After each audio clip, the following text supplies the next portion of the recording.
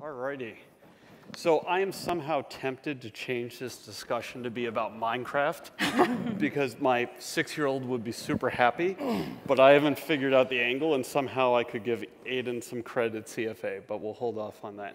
Um, all right, so back to this whole data thing. Um, so, so I'm going to start with you, Oliver. Um, so one of the things that I learned in government is there's a big difference between what your executive decision maker could want, and often you might have a, a, an analytics question which is about pretty pictures. Show me a nice visualization. Show me a chart. Show me, God forbid, a pie chart. Um, whereas there's more value in deeper analytics beyond the KPI, deep, meaningful sort of information that comes from that data. How do you manage that? Hmm. Did you think an easy question? yeah, that's a tough question. I mean, I'm the performance management director, mm -hmm. so we've been doing a lot of the KPI work now for the last three or four years. And I think that's kind of where you start. And I had this conversation with Mike Flowers just a little while ago. I think you start with the simple questions, which is just, what are you doing? How much are you producing? Is what you're producing have any effect? And you do that for a while, and there's a lot of value you can get out of that. And then you get to a point where you might plateau because you've kind of realized all the value you're going to get out of that. Mm -hmm. And that's where you say, okay, it's time to dig deeper. Let's get into the weeds. Um, you also have to know from the end users really what their problems are, what they're wrestling with. Mm -hmm. And then it's about finding the nice, elegant question where that you can marry nice data sets together to answer that question. So I'd say it's, it's an evolution. Yep. Sudha, any thoughts? Um, you know, I'm, I'm, I'm not the tech person. We're, we're very much like the public health response type mm -hmm. thing. Um, and so just knowing, you know, and foodborne disease is just such an unreported illness because so many people get sick and don't ever do anything about it. So it's not, it wasn't hard for us to convince people that this was an important project, you know, and that, you know, there's information out there that we're not harnessing. So. Any, any thoughts, Steph, on the balance between sort of like the pretty visualization and like the deeper analytics from a Google perspective? Mm, I think we just, we always try to focus on what's the core problem we're trying to solve and what's the most meaningful set of data that'll help us get there, which sometimes can be best presented visually, and we've done a lot of cool visualizations, but sometimes that's just frosting that's not helpful, we just try to make good choices. Okay, so Sudha, going to you, um, you, you, know, I think it, it, says you've had 15 years in public health. I, I think many of us sort of grew up working with data in a very classical way. Um, you grow up with your classical stats packages, you memorize all the core regressions, all of these things, and then bam, machine learning, all of these non-parametric approaches. How have you seen the evolution of these techniques? You know, clearly you're, you're working on some fascinating things. Merge, uh, move from the classical way of doing things to these different, more modern ways, and how has it changed things? Well, I mean, I think just as we talked about, it's one of the interesting things is that we find is, especially with like our 311 data, you know, it takes, it's a very interesting person that will pick up the phone and call 311. Um, and, you know, every single person who's calling is calling to complain about something. Whereas when you look at social media data, there's a lot of different things out there. And so people who are posting reviews on a Yelp site are not posting because they're sick. They're just posting because they went to this restaurant. Um, so it's, it's just interesting. It's a different type of user.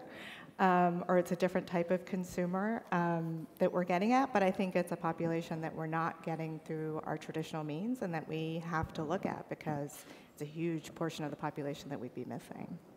Okay. Any any further thoughts, Stephanie or Oliver, on that one? You don't want to talk about non-parametric tests? Okay, we'll save that. For, we'll save that for the after party. Um, I I'll, I'll, jump in actually. Though. Okay.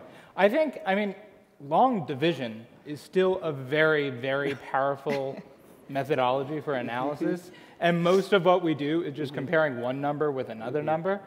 Um, and then you can do fancy things like correlation analysis. Yep. Um, so I, I, I, don't, I don't even I can't even repeat what you just said there. But there's a lot of value to be gained just through long division and cor correlation analysis. Yeah, and I think that's a good point. Like there's, you know, it's very easy to talk about all of these advanced techniques, but if you sort of skip the basics, then why, why would you skip ahead? Right. But, so that actually completely contradicts my next question. Um, so Stephanie, going, going to you. So Google is certainly one of the leaders in data. Um, I think I think I've admired them for years. They do remarkably smart things. You know, I was just watching your presentation. Sort of things like Waze just fascinate me.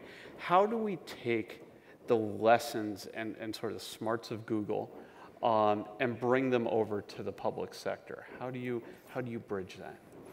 I think a big part of it is picking the problems you want to solve and starting something small and achievable. So one thing my team worked on, we work on elections and civic engagement. And if you look at our big mission, we want to get more people out to vote. We want better quality voting. We want more people uh, engaged with their governments. And that's a really big mission, but when we set out to try to tackle it, and just answering the question on Google search of where do I vote turned out to be an epically hard question to answer. And so we had to solve the very basic problem first before we sort of went for our big mission. Mm-hmm. And I think of the same thing, like one of the things I'm obsessed with is traffic and transit and congestion along the lines of Waze. And it's, you know, just understanding why traffic congestion happens could be a basic problem, and that's a lot further away than rerouting the world or controlling all traffic lights. So I think part of what we've done is pick achievable problems and break down problems, and I think anyone in government can do that too. So an area I know we all worry about is pipeline. So a specific topic are data scientists. So you see articles about data scientists being unicorns and all of these yeah. things, um, which get a little dramatic. Um, but with that being said, a focus of, of code and a focus for you know, many of us is how do we maintain a talent pipeline into government? Mm. Um, and how do we bring that smart, new innovation, whether it's a data scientist, art uh, engineer, whatever you have, to say, I want to make a difference.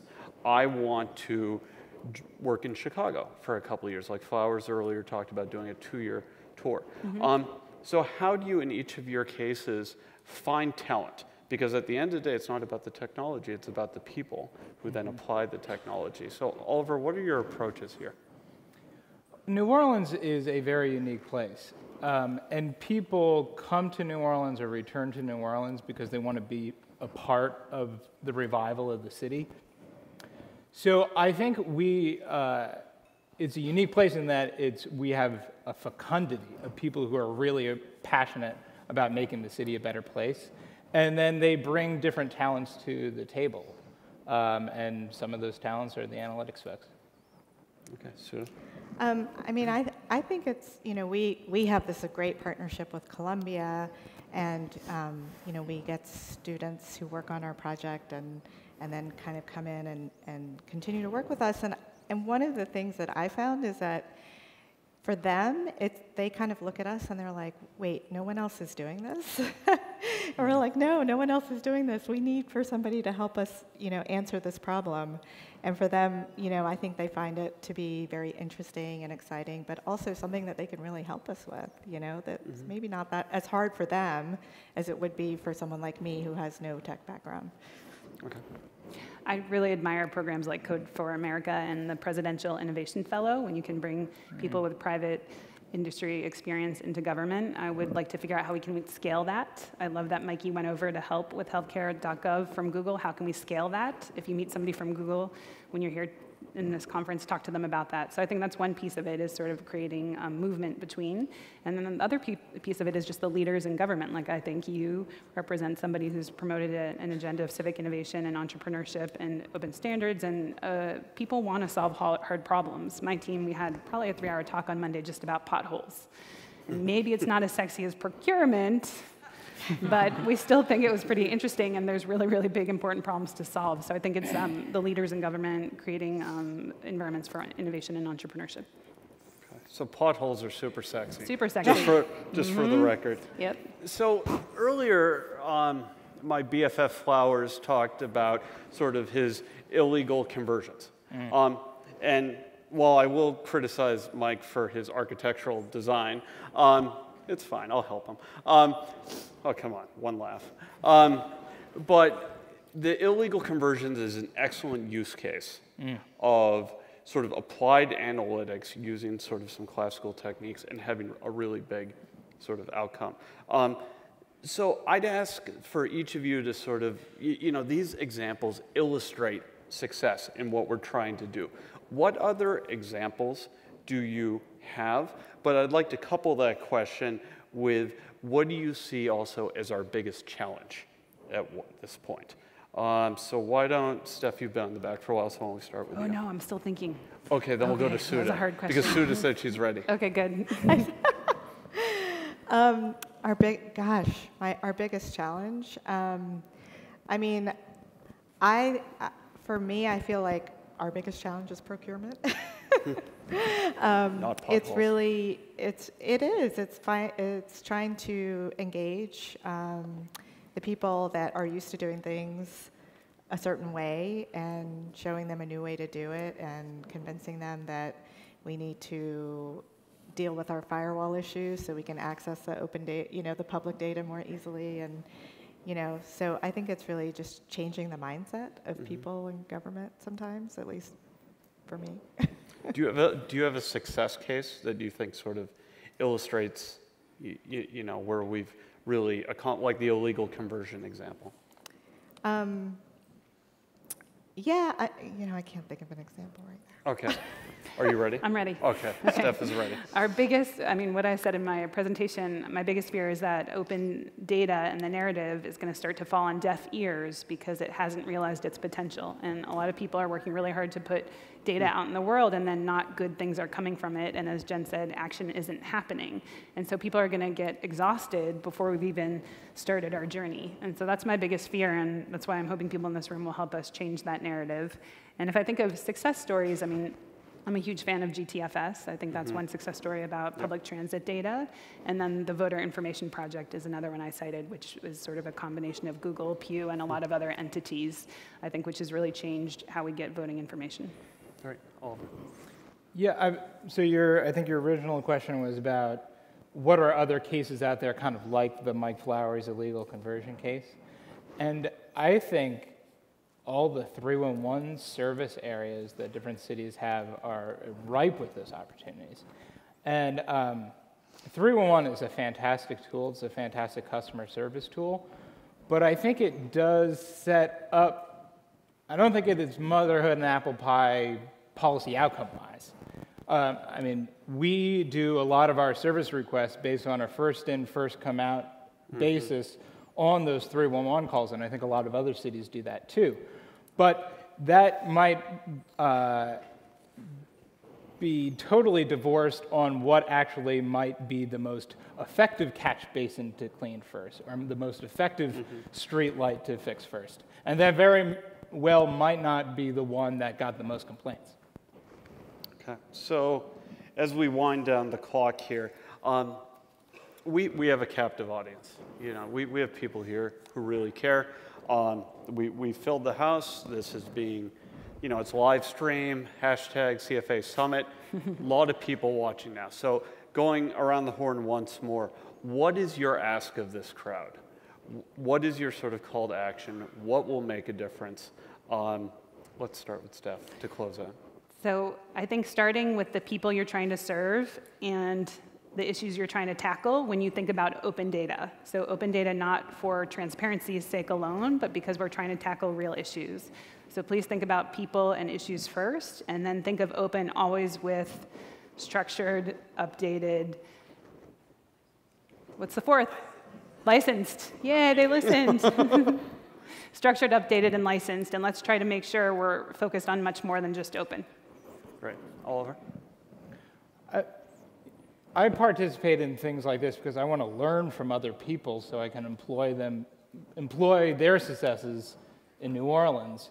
And I hope that when people, whatever they're working on, have uh, keep an eye on the replicability of what they're working on, uh, and then to document what they do, and then share it aggressively and publicly so that we can all borrow from each other. Sue? Yeah, I, whole, I wholeheartedly agree with both what Steph and Oliver had to say. I mean, I really am so interested in everything that I've learned here today and just seeing all the different projects that the fellows have worked on. And, you know, thinking about uses that we could, we have in New York City and really trying to learn from them and get the, get it out there. Great. Well, thank you, everyone, for some really great lightning talks. Thank you to our moderator. Thank you. Thank you. All right, everyone, have a great day. Thank you very much.